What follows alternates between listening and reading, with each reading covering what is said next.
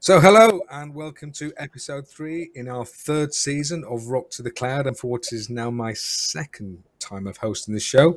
Let me start by once again uh, to offer you a massive thanks, uh, or offer a massive thanks to you all for staying with us on this series as we see it every week. We really do love spending this time with you to discuss all topics around Windows Server 2022 and actually, as you're seeing, more around our Microsoft hybrid solutions or hybrid cloud solutions uh, as we're seeking to evolve this. So, in each episode of From RoK to the Cloud, we're bringing some of the world's most foremost figures in Windows Server and indeed hybrid to help you get whatever you need or that you just want to know about it. So, per the usual, if you have any questions about the episode, make sure you pop them into the comments below. Uh, we'd love to hear from you. So, please put your comments in the section just down there. So, in today's episode, um, uh, we're going to, well, it's called Manage from the Cloud with Azure Arc. And if you remember from last week's show, if you tuned in, we had Pierre Roman. Uh, this week, for the next 30 minutes, we're going to be catching up with none other than Thomas Maurer. Um, we'll also have some elements later that you guys can get involved with. So, again, do stick around um, for the fun part of the show. Um, but this is obviously going to be the really interesting part of the show. Where we uh, will be bringing in Thomas. So, Thomas, can you tell me what is your role at Microsoft? Uh, welcome very much, and thank you very much. And um, uh, hi, Jason. Yeah, my name is Thomas Maurer. I'm a senior program manager and chief evangelist for Azure Hybrid. Uh, I recently joined that team in the engineering, and I work like on end-to-end solutions when it comes to Azure Hybrid. Speaking namely of like Azure Stack, Azure Stack HCI, as well as um, uh, Azure Arc solutions. Excellent, and I do believe you've been on the show before, if I'm not mistaken. Oh yeah, I have the great honor to. Uh, I think I already be part of it in the last two seasons, um, and talking about several things around Windows Server and especially Azure Hybrid. Yeah, absolutely. And it's great to be back.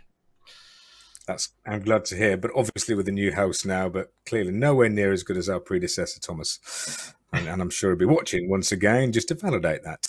So, look, on the previous show, as I mentioned, we had Pierre Roman, and we did discuss Azure Arc and why companies should care about Microsoft when it comes to hybrid and multi cloud. Um, could you just please recap for us, you know, your thoughts and provide your insight, if that's okay? Oh, absolutely. Um, uh, yeah, there's, so hybrid is obviously a very uh, important uh, part. Like when it comes to hybrid, I think we have numbers that like 90% of customers uh, actually have a hybrid strategy and rely on a hybrid cloud solution. Um, so uh, think about like uh, factories, retail stores, edge locations, or just companies who want to run certain stuff in data sovereign solutions in their own data center, or they need to have like uh, the, like they have latency or network constraints as well. And so uh, for us in Microsoft, hybrid is obviously very important. Uh, and I always ch- uh, quote Jason Zander, which is the or was the uh, lead of all the engineering uh, teams in Azure. And he was basically saying hybrid is going to be an end state for many of our customers and not just an in between state. And why I'm mm-hmm. actually quoting this is really because that shows how important hybrid for us is, right? And hybrid at Microsoft, it's not just a single product, it's really a set of solutions, products, and services which enable our customers depending on what their needs are. Uh, from our uh, Azure Stack portfolio with different solutions such as Azure Stack Hub, Edge, and especially Azure Stack HCI, uh, when it comes to like bring those cloud-inspired components into the customer's data center and edge locations. But then if you think about IoT uh, and other solutions uh, as well. But I think most importantly in the last couple of years, uh, especially Azure Arc, right, which really helps in, in many different uh, cases um, with our customers. And we usually do um, split Azure Arc in like two different categories, if you will. Uh, the first category being uh, having a single control plane and con- uh, what we call uh, Azure Arc enabled infrastructure, which means we allow you to connect servers and Kubernetes clusters to that control plane and manage them. And then the second piece, which we probably talk a little bit later today as well, depending on if you have time, I guess, um, is bringing we'll Azure service we will we will make time, right? Um, bringing Azure services into the customer's data center. So if a customer cannot use an Azure service in Azure because of latency concerns, uh, they won't want to have dependencies on the network connectivity, uh, data sovereignty challenge, and so on, they can run the Azure service yeah. in their data center. So that is pretty cool. Indeed. But look, it'd be great if we can speak about sort of the unified control plane in more detail um, and how Azure Arc allows you to manage resources outside of Azure. That would be fantastic if you want to elaborate on that, perhaps. And maybe oh. you could, I believe you may have something to show us on this episode, Thomas. absolutely, absolutely. Yeah, that's why I'm here. No, um, uh, so obviously when when we look at the, the unified control plane when we see customers doing hybrid and especially also multi-cloud scenarios one thing they tell us is hey we need tools to manage secure and govern things in all these different locations right? And we don't want to have like a management tool for azure and a management tool for on-prem and the management tool for each of the other cloud providers. Um, that can make things very very difficult and obviously yeah. uh, complex.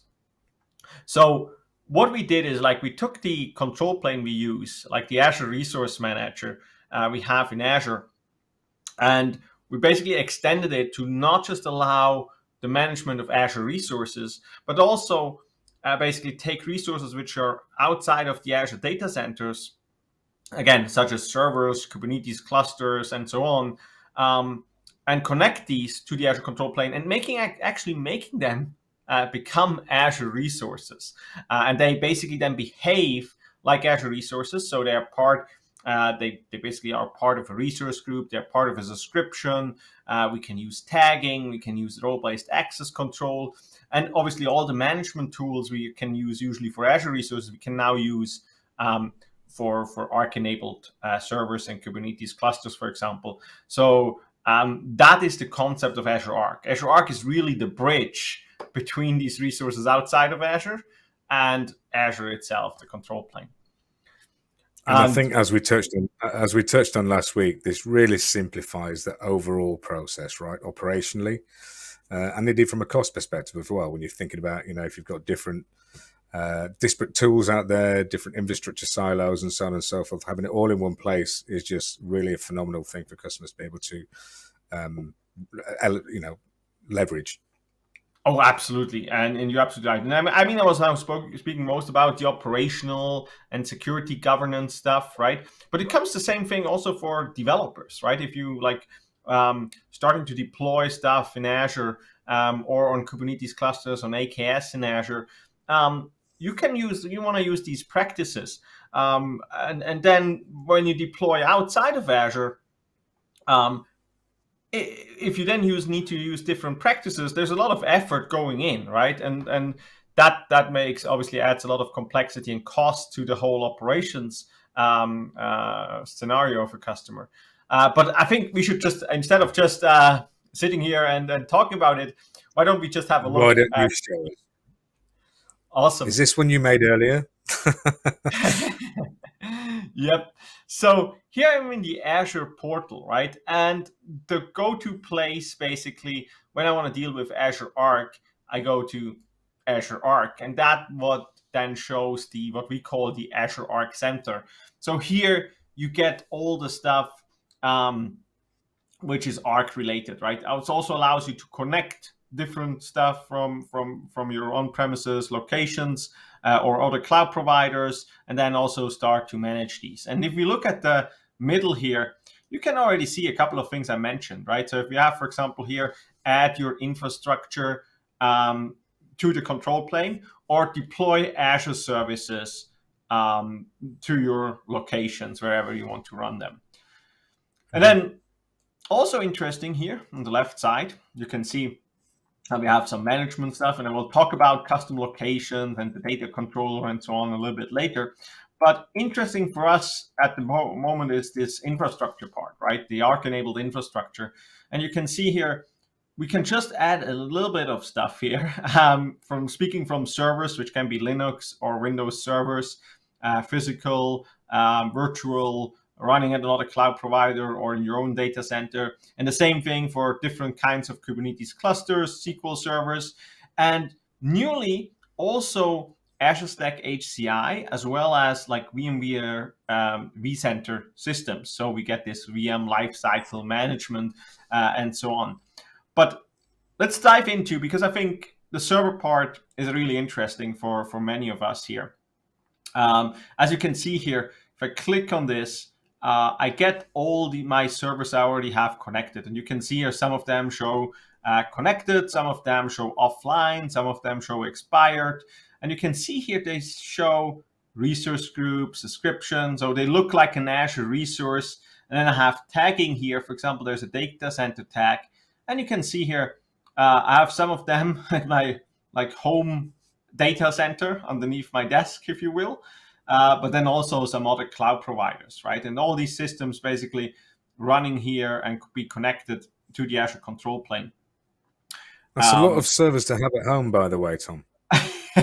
yeah, well, I, I, have a huge infrastructure here. No, no, just kidding. It's a very small team environment, but it's but it's it's community.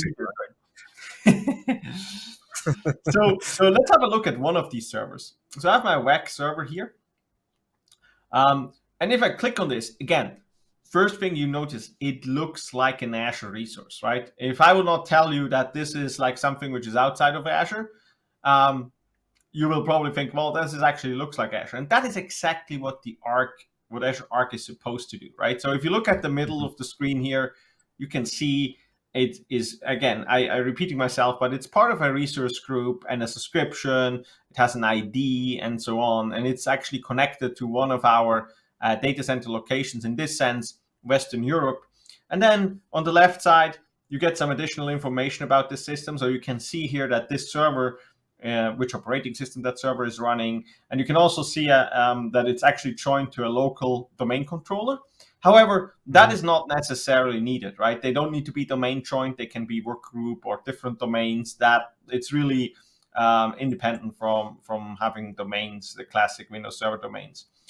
And then you can see here I can use tags. So I use some of them to actually do the do the location of the server, right? But then also, for example, a cost center tag as well. Um, if I look on the left side, you can see here some cool things which come with every Azure resource, basically. Uh, and this is like the activity log. So I can see who did what to that server. So if someone goes out and does some modification, and I'll show you what you can do actually in just a bit, but that will show up in the activity log.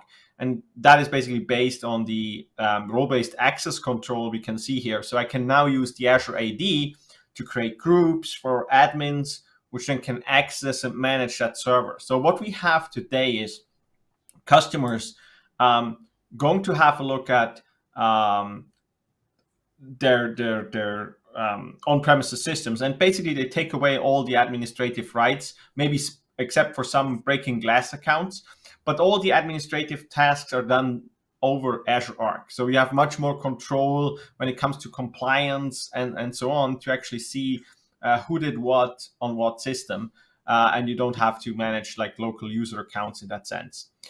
Um, in terms of time, I also want to just quickly show a couple of things here. So, for example, the security piece, I can then enable Microsoft Defender for Cloud, and this will then give me re recommendations for that server, how to secure it. And on the bottom, you can see that luckily it shows nothing here, but I would also get security alerts and so on directly from Microsoft Defender as I can have it for Azure VMs, as well as um, um, servers um, uh, running now outside of Azure, right? I have a couple of other cool things, um, update management, inventory, and change tracking, but I want to show you one thing is Azure policy guest configuration. So what I can do is I, or what a compliance administrator can do is assign, for example, Azure policies to different um, resource groups or subscriptions or directly a server if you want to. And then you can do things like, for example, auditing my servers for insecure password settings. So, for example, I have one assigned here.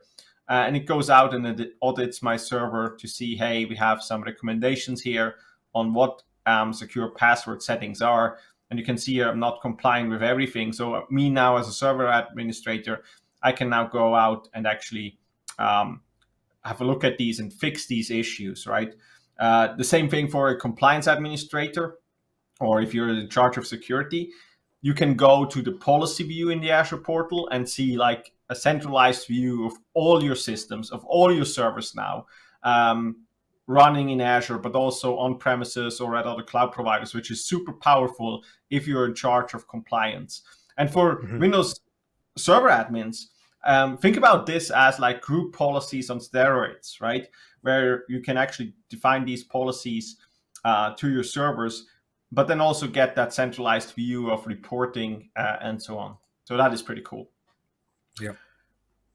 Um, now, I know Jason. Before the show, we talked a little bit about this, and um, you were also very interested in like how what can we do with the Kubernetes clusters, right? And so mm-hmm. I showed you this about servers and how that works. But what we can also have here is Kubernetes clusters. So you can see I already couple connected a couple of these. And by the way, um, what we do basically on, on both sides of the aisles, if it's servers or clusters, um, we actually going to we basically to connect these servers we're deploying an agent on these. And then that server has outgoing traffic to the Azure control plane and manages everything. So you don't need to like open any ports or something like that. Uh, it's all encrypted. You can even have it using it over a VPN or a ExpressRoute connection if you wanted to. Uh, that's what we call private link, for example. And so mm-hmm. that is how we actually get these things in here. And there can you can see here also added a couple of uh, Kubernetes clusters here. So if I look at the Kubernetes cluster, you can see here the same uh, thing as I told you before. Uh, it looks like an Azure resource, right? Even though that Kubernetes cluster runs outside of, of Azure, what you can see here, I can get, for example, the security recommendations. You can see here that I, I did not have, for example, all the extensions installed on that cluster. So that is definitely something I should do to get some more information. Uh, you can do, you can see I can do a couple of things which are um, based on on this specific cluster. Um, but then I also get, for example, the possibility to do monitoring, such as the data on server, which I didn't show you because I want to show it here in for the Kubernetes cluster. You can see here that I can then actually onboard, for example, a Kubernetes cluster to Azure monitoring, and then I can see specific uh, information here. And so if I go back, I, I also have a cluster. Let me quickly go back here uh, which is actually onboarded to this. Um, I just need to find the right cluster here um, and then go to monitoring. And if I onboarded that server, you will see that I can now see what's going on on that cluster, right? This is now very specific view for Kubernetes clusters. So you can see here my nodes, CPU, memory utilization. You can see that there's not much going on. Uh, I get also some additional reports. I can look at my nodes in that Kubernetes cluster um, to get see, hey, is everything okay with my node pools here? Um, so they do, they, they're just fine, right? Uh, I can have a look at my controllers or also my containers here in general. So you can actually go out and deep have a deep look in what is actually running here. So there are, there's some pretty cool stuff uh, we can do here. And again, we have the same for server, just in a server view, uh, what makes sense there. So to be clear, then, what if I don't have a Kubernetes cluster? Is that kind of just a server scenario, or how does that differentiate? So that's actually an excellent question, right? So we have um, customers who already have different kinds of like Kubernetes cluster because they do they want to do some app modernization, they want to use these PaaS services, they want to build um, cloud native apps using containers. But then, as you as you pointed out, there are customers who probably don't have the experience um, uh, or with Kubernetes, or they don't have Kubernetes clusters in their environment, or they're thinking about they want to have something which they need less management right to do. They want to have it more as a service. So what we are mm-hmm. offering today is AKS, like our Azure Kubernetes service, running on Azure Stack HCI or even on Windows Server right? So you get that like this awesome Azure Kubernetes service, which you can run in Azure. So you get like all the management capabilities and, and stuff like that. But instead of running that um, in Azure, you can also run that on-prem and then connect it through Azure Arc to the control plane. So for example, so these server, these Kubernetes clusters here, they could potentially be AKS clusters running on-prem on Azure Stack HCI or Windows Server. And so uh, you get this managed like this managed service of a Kubernetes cluster within your data center or edge location, and it allows you to do some cool stuff when it comes to the app deployment or, or monitoring as well. So we offer that like full stack solution, if you will, if if you need that. Can I also manage my infrastructure like Azure Stack HCI and VMware so I can get the full lifecycle management of VMs? Yes, so absolutely great point. Um, as you can see here on the left side, um, I'm not going to dive into this, but you can see here we can also go and manage our Azure Stack HCI clusters or our VMware uh, infrastructure as well, right? Meaning that we can connect these using the Azure Resource Bridge. It's kind of like an appliance you deploy into your environment, and that then connects to your either vCenter or your Azure Stack HCI cluster and then you can do like VM lifecycle management. You can get monitoring, so you can uh, deploy your VMs, you can remove them, you can like resize them, and all of that directly from the Azure portal or like a CLI you use or API, because everything is managed through Azure Resource Manager. Now, you would probably say, why do I want to do that, right? Because I have already a vCenter or Azure HCI has Windows Admin Center, so I can easily manage that on-prem. But think about a scenario where uh, where you, for example, have multiples of these cluster or different environments, like a retail store, for example. We have customers mm-hmm. with like hundreds, if, two, if not thousands, of different retail store locations, and they now need to manage all these. Now, in the past, that was obviously a pain because they needed to have VPN connections to all these infrastructures, and then they did not have a signalized view. They need to go out and manage these. Now, with Azure Arc, because they show up now, everything shows up in the Azure portal, we can actually go out and manage these from the portal. And we don't need like, it can do that like if I'm now an admin, I can do that from Starbucks or if I'm working from home, I don't need to be like in the office, right? With all these hybrid work efforts going on. I can securely manage all of my infrastructure directly from Azure. And, and I think that is super powerful. The other powerful piece now is even if you don't have these location requirements, even if you don't have hundreds of locations and clusters and so on, um, one of the big advantages is if you in this hybrid scenario where you have stuff in Azure and stuff on prem, you probably use infrastructure as code with biceps, Terraform, uh, ARM templates. Um, you have your DevOps pipelines and so on, and you've run them against your cloud, your Azure environment. Now, on prem. Can I just pause there for a second, Thomas? Sorry, just to, to be clear for the non-technical, ARM templates and biceps. Is there any correlation there? Yes. So arms if, and biceps. No, no, that was yeah. kind of a joke. I'm sorry, mate. Maybe my bad uh, bad humor, but there we go. No, no, I, I, I get a, the, the the reason is because I get a lot of questions around these, right? Um, um, when when we talk about arm and bicep. So um, yeah, no, um, really, you should like I recommend like everyone who gets started with infrastructure code go with biceps because it makes it way easier to write these things. Uh, ARM templates are written in JSON, and again, JSON is not really a, a human-friendly format. Uh, I think in person, um, it's it's better to have like something which is more human readable, right? And so bicep is a great great thing to do. Um, but so now you can use these and run these against the Azure control plane, right? You can take these Azure bicep templates, for example, run these against Azure, but then that will deploy stuff in your local data center. Like, how awesome is that? Absolutely. So, um, talking of deploying, then, are you able to show me how you can deploy a web app on premises, for example? Absolutely. I hope the question would come. Um, so let's dive into into the uh, how that actually looks like, right? Um, so I want to quickly show you what you actually need for deploying a web app. That is what we call the Azure Arc enabled services. And if I scroll down here on the left side, you can now see we offer a couple of different Arc enabled services, such as data services, which means Azure SQL managed instances or Postgres uh, or then our application services, which means web apps, functions, event grid, API management, and so on, right? So um, what do I actually need to run these on-prem, right? There must be something I need to do. And absolutely. So what you need to do is you need to obviously connect a Kubernetes cluster. Again, these can be this doesn't need to be AKS on Azure Stack HCI. It would it can be, and it's a very good solution for that. But it, even if you run OpenShift or some other Kubernetes distributions, um, you can also connect these, as I, like I showed you before. Now, what you then can do is here on the top is what we call custom locations. So you can create a custom location and you can see I created two already. One is called Other Cloud Provider 01, and one the other one is called Tom's Data Center 01.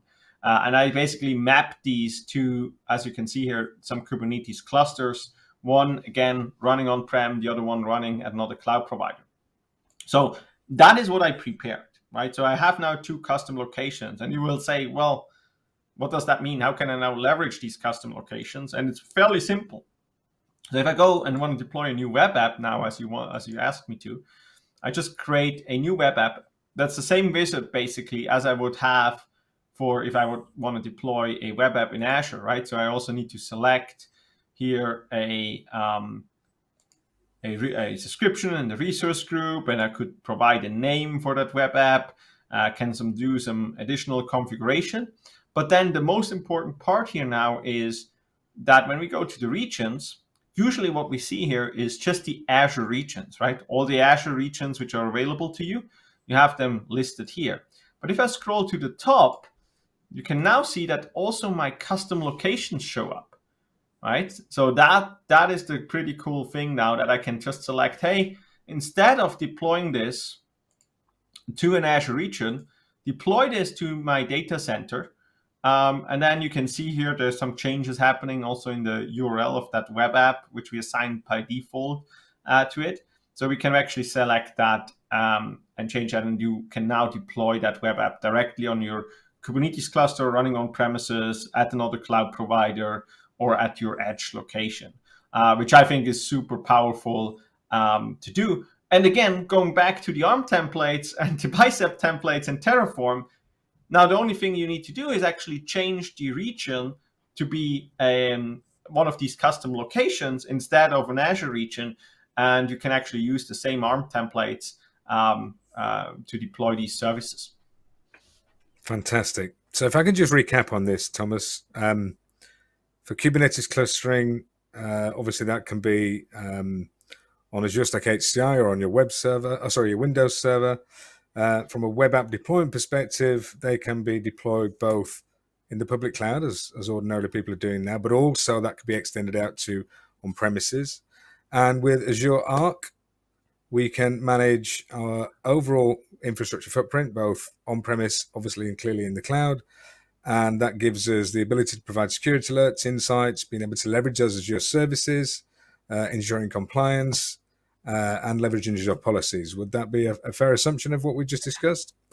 Absolutely, you make it. You made it very easy uh, to like basically summarize what I just showed.